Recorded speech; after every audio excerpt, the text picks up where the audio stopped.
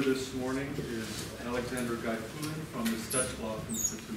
He's going to tell us about the Bellows conjecture in odd-dimensional Lobachevsky spaces. Uh, thank you very much for inviting me to this conference. It's my great pleasure to speak here in the Institute of Euler. Uh, actually, uh, still I do not know what is the relation of this to quantum topology, but maybe some relation will follow. Okay, uh, what is, uh, I start with the notion of a flexible polyhedron. It's basic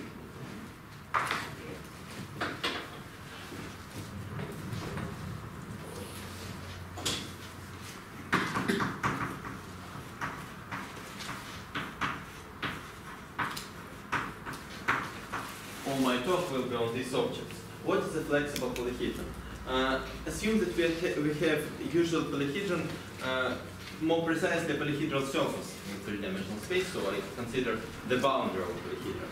And this boundary is made of rigid wooden plates and hinges uh, at edges. So this thing is allowed to flex. But still, if we consider, for instance,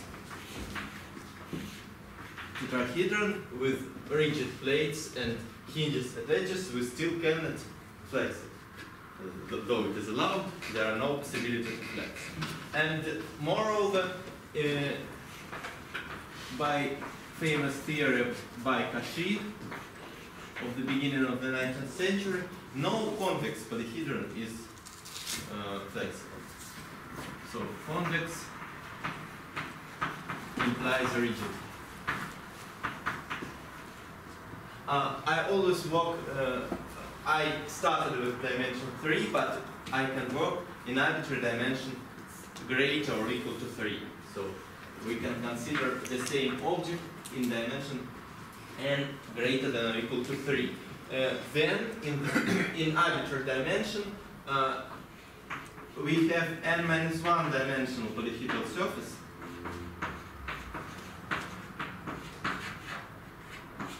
and we have rigid n minus 1 dimensional faces and hinges at n minus 2 dimensional faces.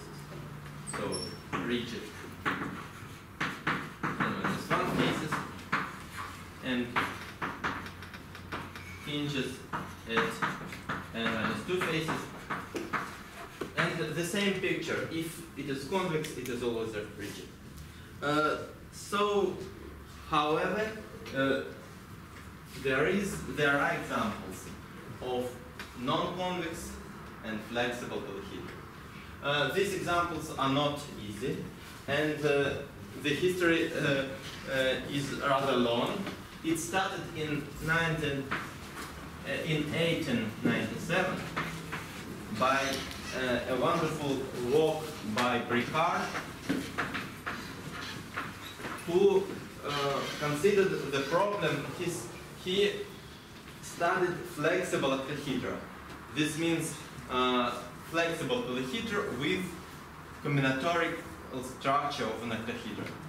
And he found three types of this flexible octahedron. So flexible octahedron has six vertices and uh, anybody knows uh, this combinatorial structure. But for sure all these flexible. Octahedra are not convex because convex cannot be moreover he found three types. Three types means three continuous family of flexible octahedra and moreover he proved that none of them is not only convex none of them is embedded. All these surfaces are self-intersecting. So all self-intersecting intersection. So, uh, starting from this work, it appears uh, the understanding that we uh, we can define uh, a flexible polyhedron as an embedded polyhedral surface, but it is not obligatory. Uh, there are also uh, there are many examples which are not embedded but still interesting. I will, to be more concrete, I will describe two types of this two of the, of the three types of this octahedron. Uh, first of all, we can consider, okay, if we have an octahedron, we have these uh, vertices, A1, B1, our opposite vertices, A2, B2, and A3, B3. And now uh, this in standard octahedron, and now uh, this situation with arbitrary flexible octahedron. Consider an arbitrary line and consider three segments such that they are orthogonal to this line and they are divided by this line. Each of them is divided by this line on two different, or on two equal parts. So consider such n. And let these vertices be a1, b1, a2, b2, and a3, b3. Uh, if we, so these three red segments are diagonals of octahedron. Uh, to, uh, I can draw all edges, so all pairs of vertices which are not connected by segments in my picture are connected by edges. But if I draw all edges, it will be impossible to understand anything. So imagine that all pairs of vertices except for these three pairs are joined by an edges and we also have faces and this guy is always self-intercepted but it is flexible. It, is easy to see that it is flexible. Uh, actually to describe this picture we have seven, seven parameters. Seven parameters. It's easy to see. We have three lengths we have two distances and we have two angles. Uh, the angle of rotation of this with respect to this, and the angle of rotation of that with respect to this. So seven parameters. Uh, and how many edge lengths do we have? Actually, an octahedron has 12 edges, but here we have a symmetry. So we have only six different edge lengths. So from seven parameters, we have six edge lengths. And this means that for a generic set of edge lengths, we have a one-dimensional family of uh, uh, octahedra with these edge lengths. This is the first type of Bricard's octahedra. Oh, maybe I stop uh, uh, uh, with describing different types. Uh, it's enough to understand the main idea. And there are also two other types uh, Bricard's octahedra. Okay, and it took to 80 years. There was a, a um, very long-standing uh, problem which was called rigidity problem, and the conjecture was uh, often conjecture. It was conjectured that uh, flexible polyhedron cannot be embedded, and only in 1977, Connelly uh, found the first example, the first example of, of an embedded flexible polyhedron. And then uh, other examples follow. Uh, okay, but I'm interested not only in uh, flexible polyhedra uh, in uh, um, our usual free space, but also in other spaces. So, which uh, I, we can ask of uh, flexible polyhedra in arbitrary Euclidean space, uh, Lobachevsky space, and spherical space, so all spaces of uh, positive curvature. Uh, of uh, dimension greater than or equal to 3. In dimension 2, it is not interesting all polygons with at least four sides are flexible. And uh, there are many interesting questions about configuration spaces of, of them, but this is another story. Uh, I do not want to touch it. So I always uh, assume that n equal greater or equal to 3. All these examples are in dimension 3. Actually, one, not the first type, but the second type of Bricard's octahedra can be generalized to dimension 4. So in dimension 4, self-intersected examples were also known. And indeed, all these examples can be uh, transmitted to Lobachevsky and spherical spaces. For instance, the same, quite the same reasoning works in all these spaces. So there are there were examples in all these spaces for n equal 3 and 4. Uh, well, actually, in dimension, uh, and for a long time, there were no other examples. Uh, and this is my result uh, of uh, 2013 that there are examples of self-intersecting flexible polyhedra in all uh, these spaces of all dimensions greater than or equal to 3. So in dimensions 5 and higher, this is u. Uh, but this is not the result which I'm going to speak uh, now. I just uh, uh, want to start with some history of the problem.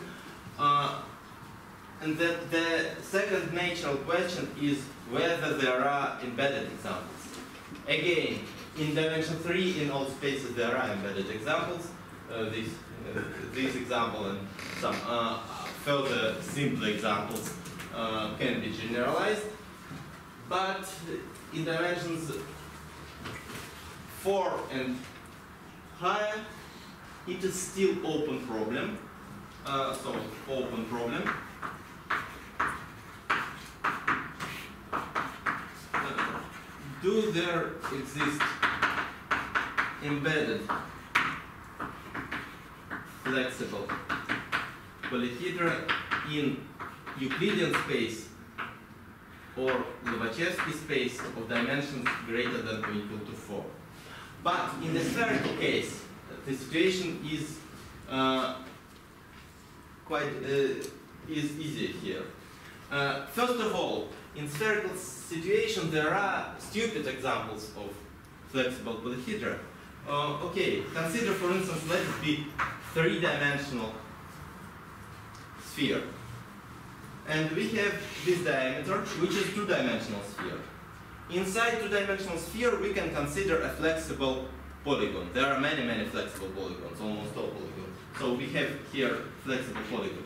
And now we take the suspension over this flexible polygon with vertices at poles of the sphere. And we obtain a flexible polyhedron. And there are plenty, plenty of them, such type. So, uh, to, to obtain, uh, this is not interesting, this appears because we have two uh, uh, antipodal points. And to obtain a reasonable situation, it is interesting to ask about uh, flexible polyhedra in an open uh, three-dimensional, or not three-dimensional, in an open hemisphere. So to forbid uh, to have these antipodal points. So uh, a reasonable question in is an open set hemisphere, not not sphere. And then uh, it's again my result of uh, of this year that in Sn with arbitrary n there exist uh, embedded flexible polyhedra. Uh, in, in open hemisphere, there exists embedded flexible polyhedra. So situation is easier than in the Euclidean and in the Lobachevsky cases. Okay, but okay, let, let me pass to the most intriguing problem, uh, maybe most one of the most intriguing problems concerning uh, uh, flexible polyhedra. This is called Bellows conjecture.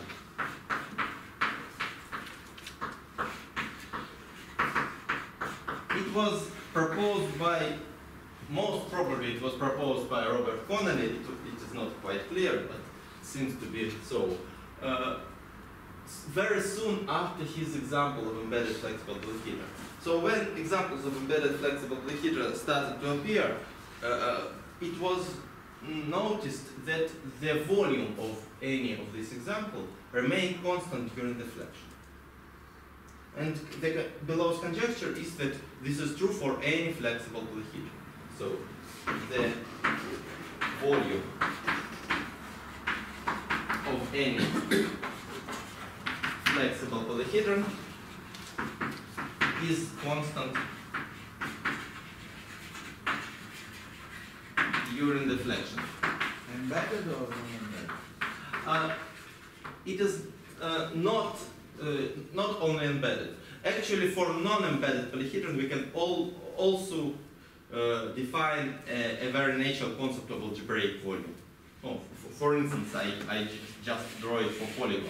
Okay, if we have polygon like this, we should compute each point as many times uh, uh, as is the Winding number around this point. So this is with uh, uh, one, one, one, one, one, and this region is computed twice. And, and the same uh, works in arbitrary dimension. So for, for arbitrary, not necessarily embedded poly- polyhedron, we can, uh, we can define volume. And the conjecture is that this volume is constant during deflection. Uh, well, and this was the conjecture, and the wonderful result by Idzhad Sabitov uh, of 1996 was the proof of this conjecture. Originally, this conjecture was in three-dimensional Euclidean space, so he proved that uh, Bellows conjecture holds in three-dimensional Euclidean space for all polyhedra or in three-dimensional Euclidean space. And at, uh, sure, there is a natural question whether it is true in other spaces. We have all these spaces. Question, could you just briefly say what you mean by the volume? I didn't say one dimension higher, what do you mean by the? Ah, oh, this is in two dimensions. Yes, yes, so if I have a, a two, a two-dimensional polyhedron in three spaces. Ah, no, no, no. Uh, the volume not of a surface, uh, the volume bounded by the surface. We, we, we take uh, So you assume you have a map of a three-dimensional polyhedron into, into. For, for instance, we have a two-dimensional polyhedral surface, Yeah. and we count the volume bounded by it. And uh, we take each region with uh, with multiplicity, which is equal to the uh, num to the Lincoln number is around. So uh, this is example of a polygon in the plane. We, it is not interesting to consider the volume of a surface because uh, it is for sure constant because uh, surface doesn't change. The uh, but the volume of uh, bounded by this surface, uh, the region bounded by this surface uh, changes, but but still the volume is uh, preserved. Okay, and it is my result again of 2012 that this Bellows conjecture holds in all Euclidean spaces. Holds in Euclidean spaces of all dimensions. Okay, my, my result is 4 and greater than or equal to 4. Um,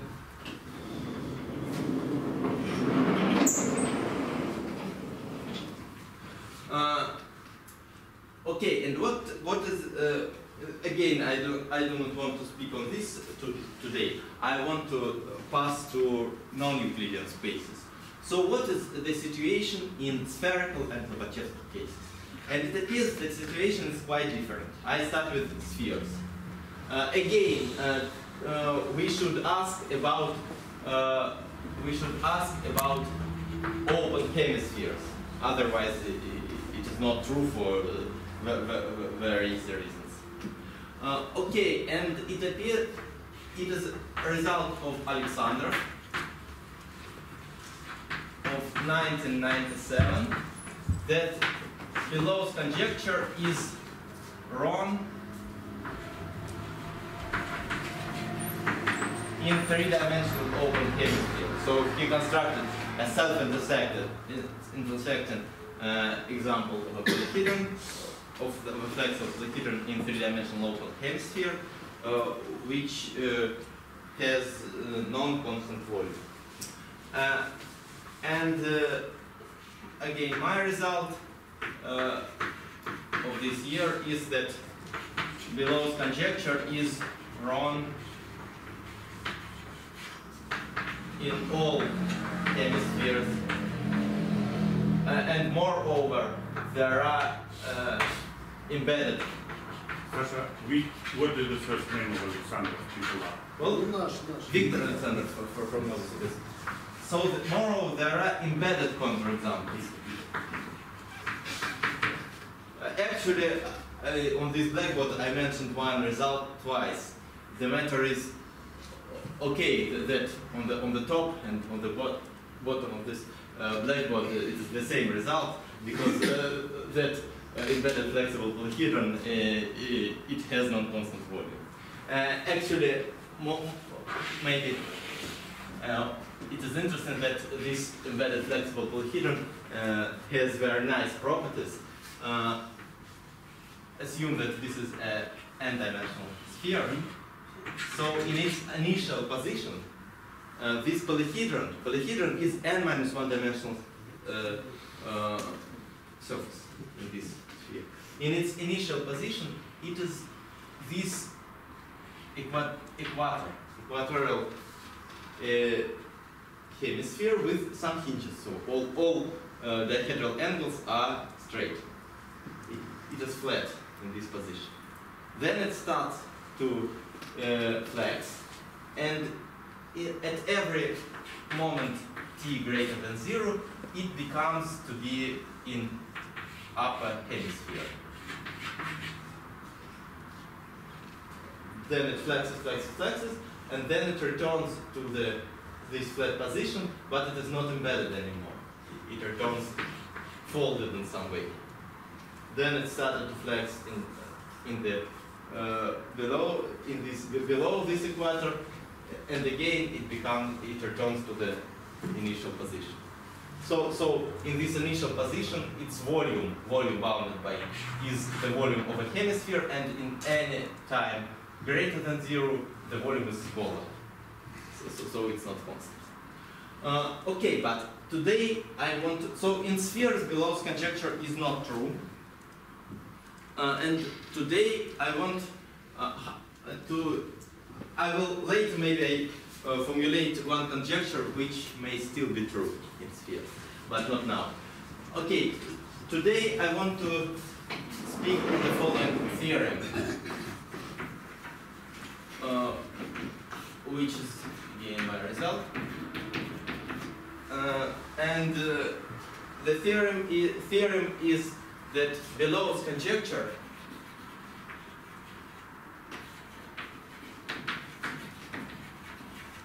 is true uh, in odd dimensional Lobachevsky spaces where n greater than 3 uh, and n odd but uh, I know I can prove only that it is true for bounded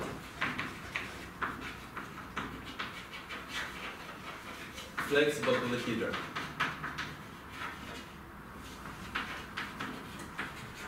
The matter is in Lobachevsky space, uh, we uh, alongside with bounded polyhedra, we can consider polyhedra with um, mm, with vertices on the absolute and they still have finite volume. Uh, so we can ask whether it is true for such polyhedron. I don't know. The, the, I, I can prove it only for polyhedra which are bounded. Uh, and again, uh, mm, this restriction that n is odd, it appears from the proof. I cannot adopt my proof for even n, but still there are no counterexamples. So the even case is completely open. Uh, moreover, all examples which were computed show that the volume is constant in even dimensions uh, as well. But, um, uh, well, so not, not, nothing is known for any. Actually, this is a surprising result because we have in sphere it is not true, and the general intuition is that uh, okay, sphere and Lobachevsky spaces they, they should be uh, analytic continuations of each other or something like that. Um, so, so- some properties of volume should, be. Uh, it, it is well known that if we consider a volume of a tetrahedron, for instance, as a function of its dihedral angles, then uh, this volume in Lobachevsky spaces and in the sphere they can be obtained from each other by certain uh, good uh, analytic continuation. So it seems that it should be not true also, but it appears that it is true, and I will uh, try to. mm, uh, uh, I will not give uh, the proof now, for of course, because it's long.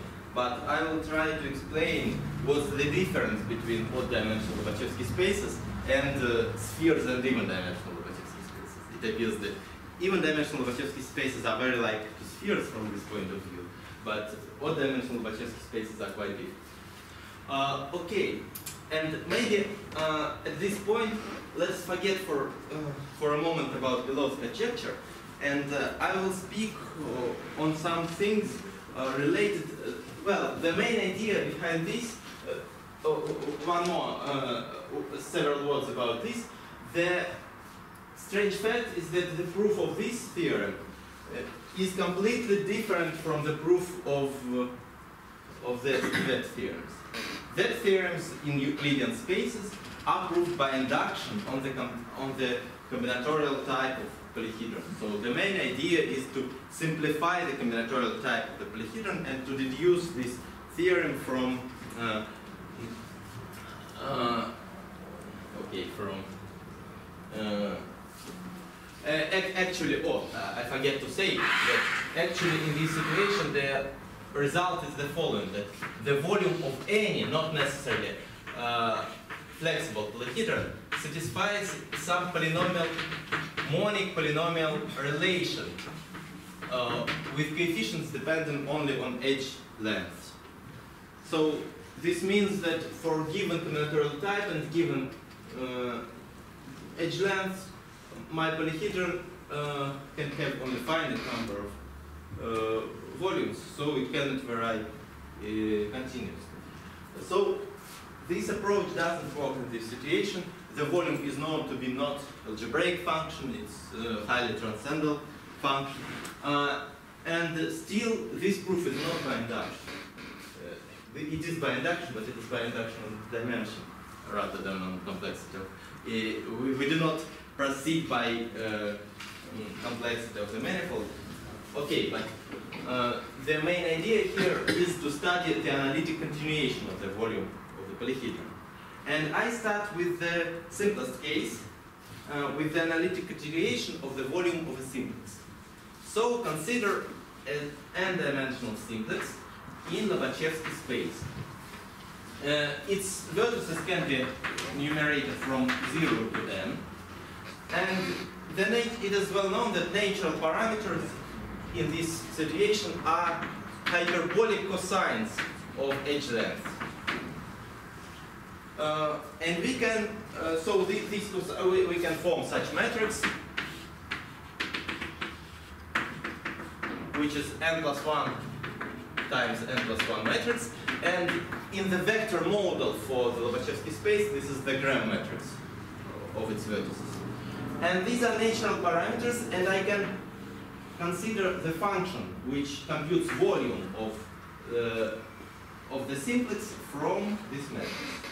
So this is the natural function. Uh,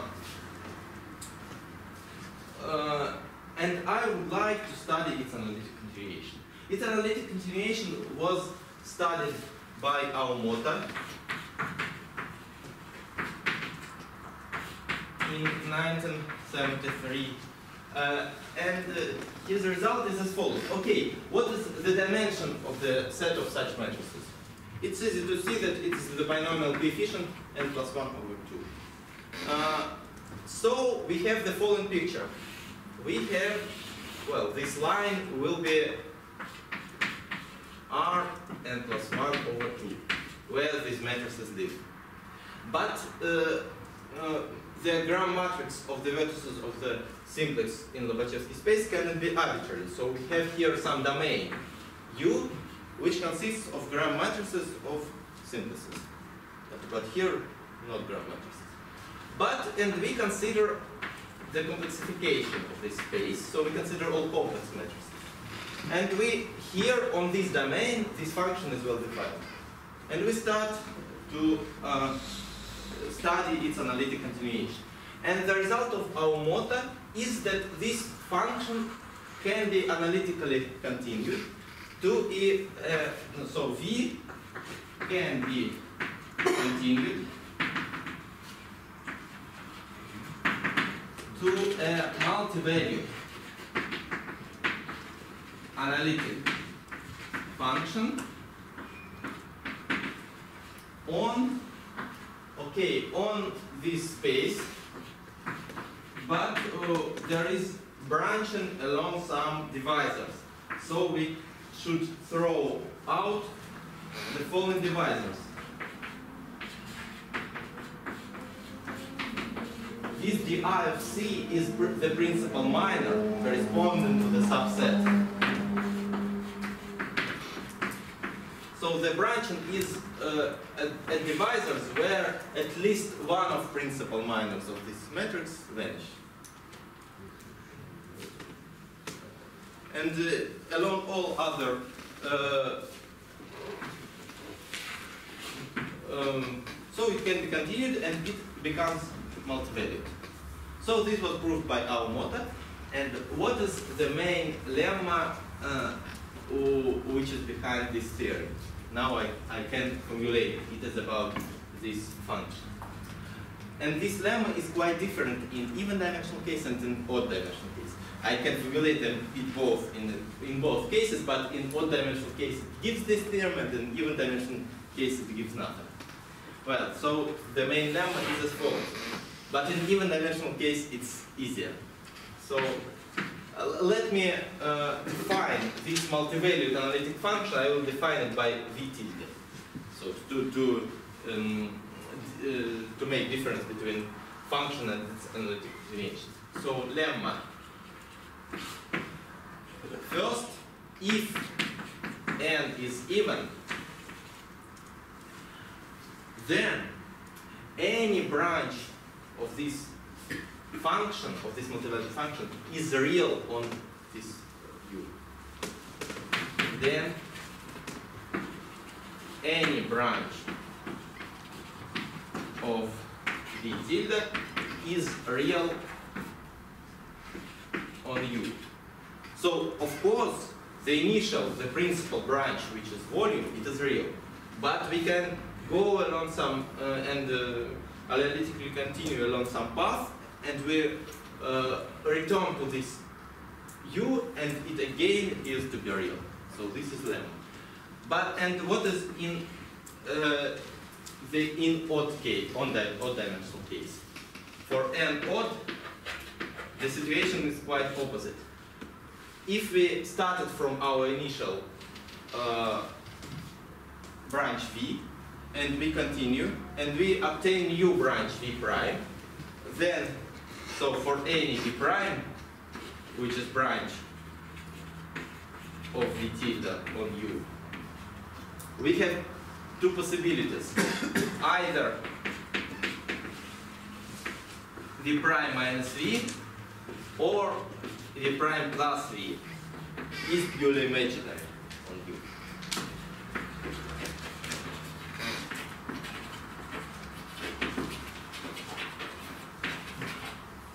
Is purely imaginary on u. So the difference or the sum uh, is always purely imaginary. O- okay, this is a rather hard lemma. This is not straightforward at all. So this is the most uh, technical part of this proof. Uh, but uh, for, uh, I have no time to describe why it is true, but uh, I will try to describe why this theorem follows from this lemma. Uh,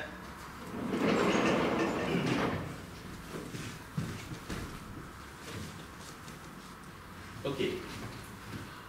Uh, and well, well, and also before uh, I pass to the theorem, I want to say what is in the spherical case.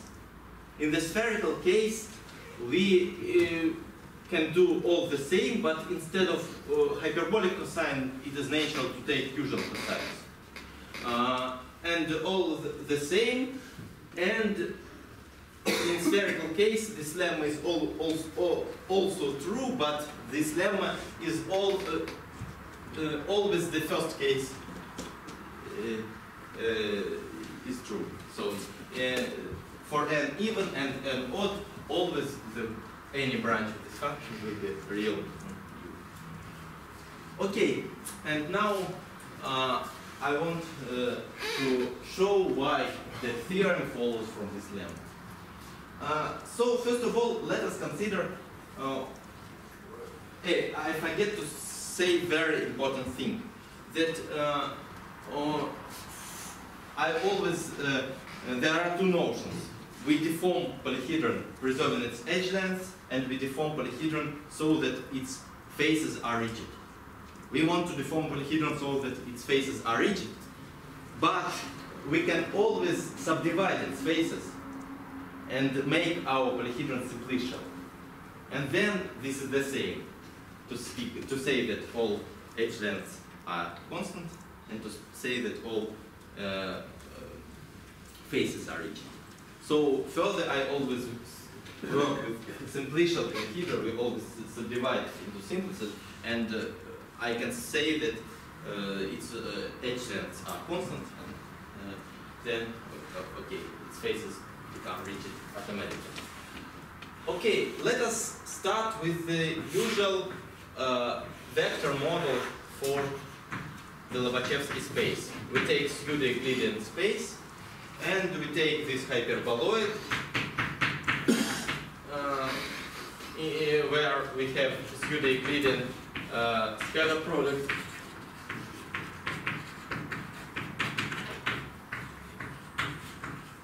Uh, and uh, the Lobachevsky geometry is realized on this hyperboloid. Okay, and I would like to fix a combinatorial type, so I fix a simplicial complex, which is underlying my polyhedron. And I fix, uh, so combinatorial type. And I fix the set of lengths. I also would like to fix them. And I would like to consider the space of all polyhedra in Lobachevsky space with the prescribed combinatorial type and edge length.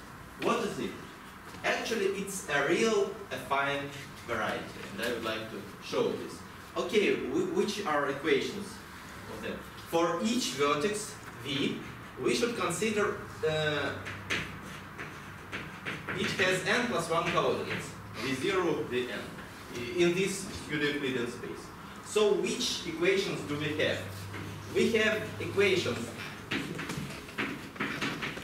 that all these vertices lie on the hyperboloid, and we have equations that if two vertices are joined by an edge, then the, we, we should have prescribed edge lengths. And this is this, such equations. uv is hyperbolic cosine of the prescribed edge length. So uh, if if uv is an edge, if uv is a diagonal, then no equation for this pair. So we have all these equations, and these equations, uh, um, these equations produce me a configuration space of all polyhedra with the prescribed edge length. I denoted sigma, and it lies in some big uh, uh, uh, space Rn. Uh, I'm cheating slightly because actually this is not uh, V belongs to the uh, this is V belongs to the hyperboloid, but not to the proper sheet of a hyperboloid. But this is not so important here. Uh, I don't want to stop. Okay, so and then I can. This is a fine real variety, and I can consider. Uh, indeed, we, should take a connected component of affine real variety, and I can, can consider its complexification, which lies in Cn. And again, I have uh, the picture is like that. We have this sigma, and we have its complexification. And again, here, uh, here on, this sigma, I have my volume function. This is volume function of my polyhedron. So let B be this initial polyhedron. Uh, and I would like to continue it analytically on this uh, complexification.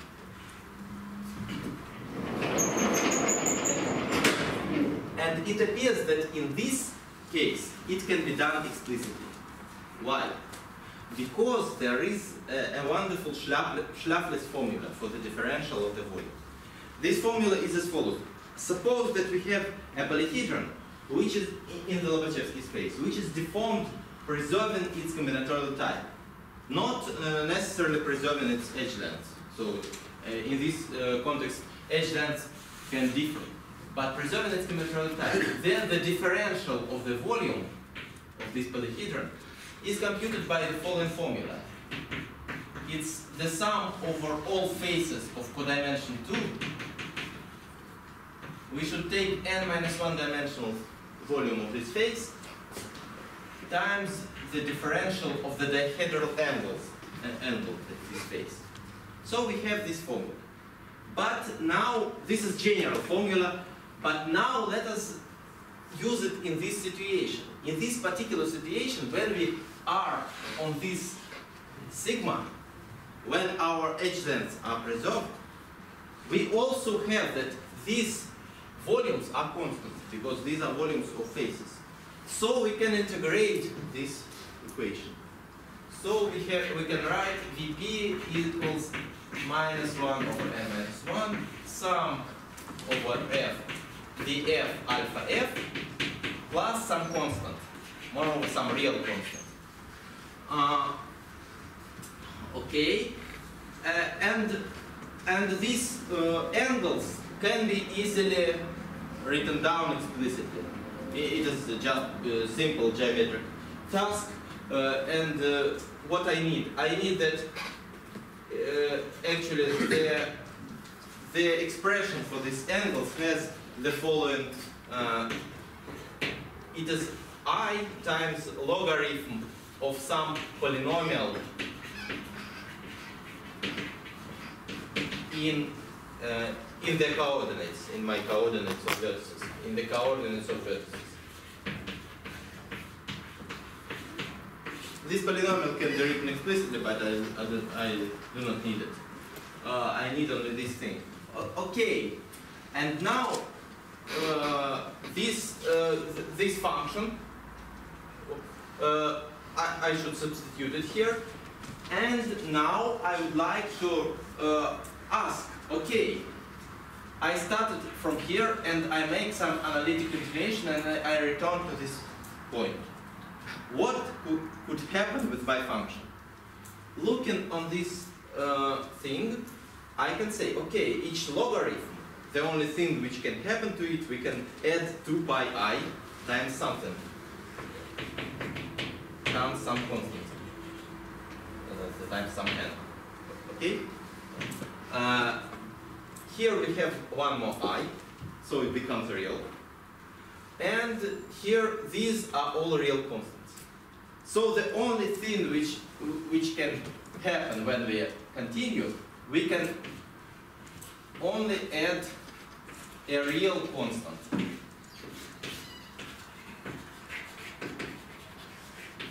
Okay, and now I, I can uh, complete the proof of the theorem because uh, now we can subdivide this polyhedron into simplexes and look on each simplex separately. And that lemma, that main technical lemma, says us that if we analytically continue the volume of a simplex, then, uh, okay, here difference or sum, uh, let me look on on difference, uh, it can be uh, made in this. That new uh, branch differs from the initial one on some uh, purely imaginary function. And here we have real constant.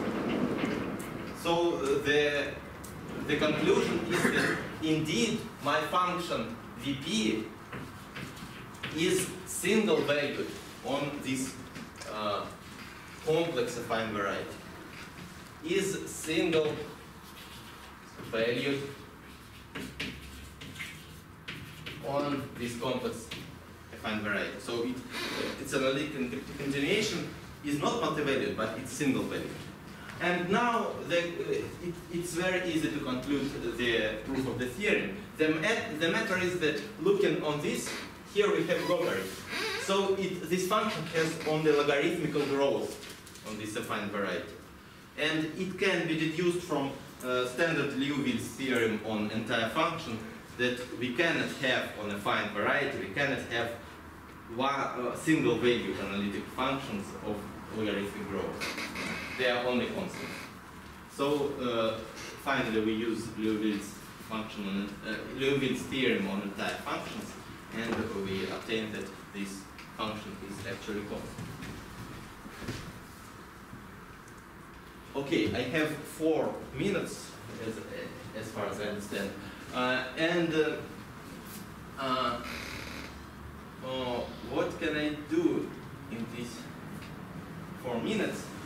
Maybe I will formulate the conjecture which I think is true in spheres, which may be true in spheres. Uh, okay, we see that this Bellows conjecture is wrong in, in, this, uh, in, in spheres, but what can we uh, actually the situation is as follows that possibly it is not a right way to consider polyhedra in open hemisphere. The right way seems to be the, the following. If we have a flexible polyhedron, if we have a flexible polyhedron in n-dimensional sphere, uh, then we always can do the following operation. We always can take any of its vertices, so it, it is contained in some faces, and replace this vertex by the antipodal point. So delete this ver- vertex, delete all edges and faces in, in which it, it is contained, and replace it with the opposite face. Okay, then these edge lengths are also constant. Because if the distance from one point to another is constant, then the distance from this point to the antipode of that point is also constant. So from one uh, flexible polyhedron, we obtain many, many flexible polyhedra. We can change some of their vertices by the opposite. And some, uh, so, okay, uh, from, from one flexible poly- polyhedra, we obtain 2 to the power m flexible polyhedra, where m is the number of vertices. And this modified Bellows conjecture, which seems, uh, okay, for all examples which I know, it is true. Uh, uh, f- for that, for coun- counter examples due to Alexandrov and to me, it, it is still true. Uh, that among these 2 to the power m uh, flexible polyhedra, uh, there exists a flexible polyhedron with constant volume.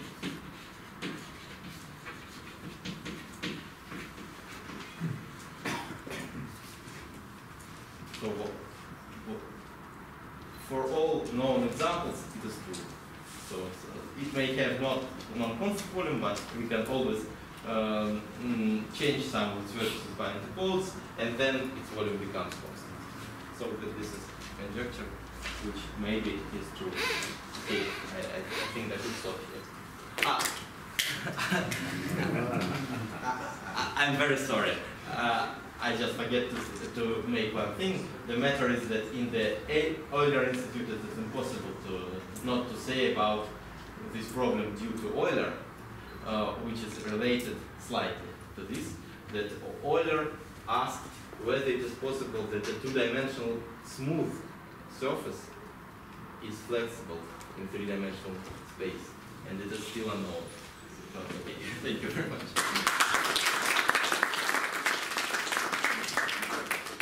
Does anybody have a question?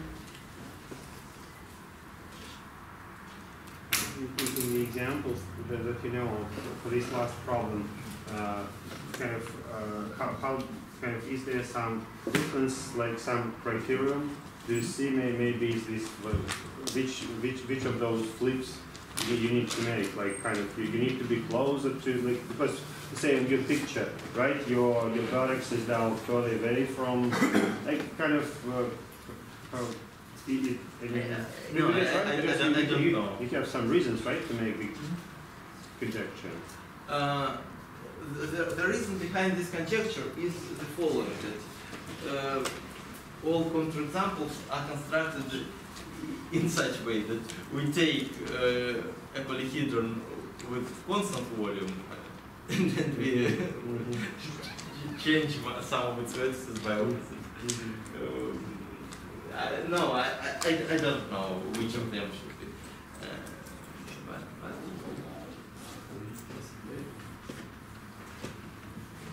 Does there exist some reasonable generalization of the local conjecture of all this stuff for uh, manifolds which uh, with uh, not constant curvature, for example, more general geometries? Uh, I I don't know. For, for, for non-constant curvature, I, I, I do not know any reason. No hope, yeah, to get something reasonable. No hope to get something reasonable, yes. Mm, uh, I have no hope, but maybe there is some hope. Okay, uh, let's thank the speaker again.